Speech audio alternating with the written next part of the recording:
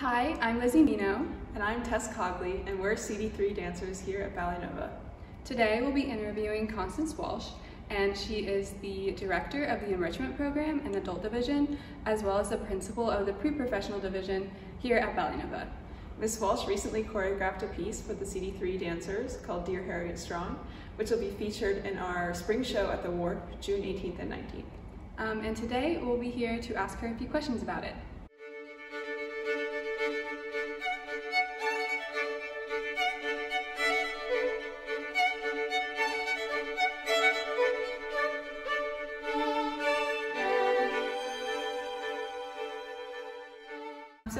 Start asking a little bit about your background.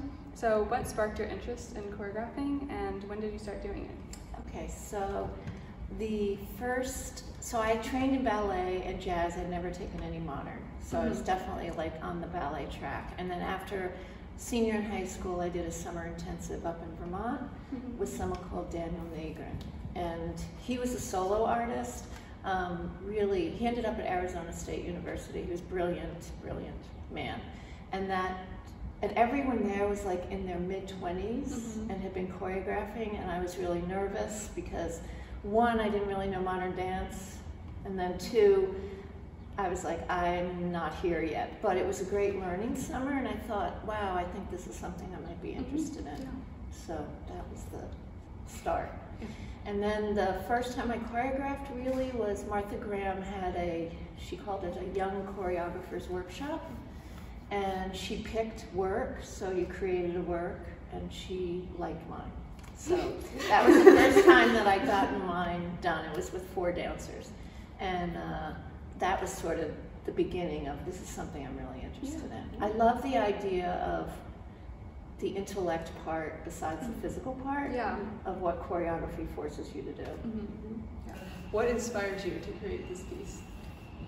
I think it was Harriet Strong. Also, I think because we're in a pandemic and we've had to deal with so much, that it seemed I wanted to pick somebody that was inspiring. Mm-hmm. Right. Okay, so this work is split into different sections. Yes. Can you tell us a little bit about like, what each section means? So the the story is not really a story, it's more about Harriet and it's having her walk through the different emotions that I'm feeling that she must have gone through to come to who she became. And I think we all do that. And I think we all have to face death and trauma in our lives, so we like to avoid it. It does happen, you can't avoid it. And um, so that's, uh, that's the theory of the piece. So it started out with the four daughters, and I thought that shows the innocence and of life being normal. And then when something happens, it really does change your universe. Um, I had a personal experience with my parents that were in a fatal car accident, and your whole life changes.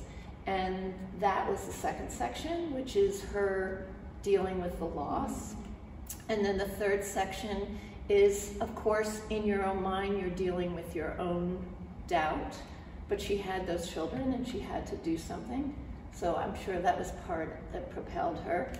And then I wanted to bring, you know, that line, it takes a village, that she had a community around her that supported her and helped her get to where she is. And then, of course, it just ends up with showing the resilience mm-hmm. of when you accept.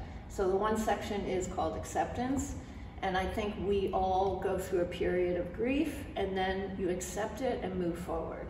And that's where a lot of people get stuck, because that's the hard part. Mhm. So, what did your creative process look like as you choreographed Dear Harriet Strong? It's, it started with one piece of music that I liked, and this is always what happens to me. I get a visual picture in my mind of what the stage is going to look like. That's what it starts. I don't have any movement at all. It's just one piece of music, and then I start that one piece, and then it leads to the next. And that's kind of how I work. So it's not like I see the big picture. I in this, I let Harriet kind of lead me through Yeah. the steps. Okay. So then what was the most difficult part about the creative process?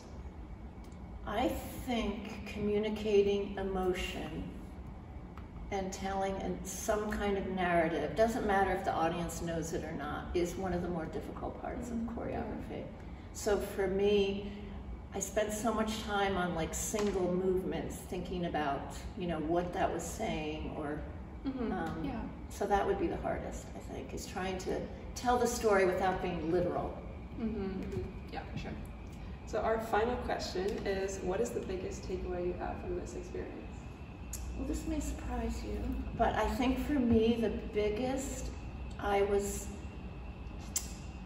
all the dancers raised to the maturity of the movement much more than I would have thought. And that, I think, was, that, as you know, I, I get very emotional about it because the best thing as a choreographer is when the dancer takes the movement and makes it their own and makes it different. I don't want everyone to do whatever gesture I'm doing. I want you to do it your way. So when I watch it now, it's it's the dancers that are making the piece.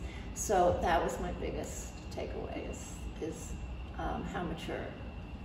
I love that. well, thank you for joining us today. And thank you for being two dancers that did that for me. we really learned a lot. I mean, I really enjoyed performing it. Oh, good. Yeah, it was so much fun. And wait till you see it. It's I still cry every time I watch it. so. I'm so excited. We hope you guys learned a lot too, and we'll see you at the Wharf.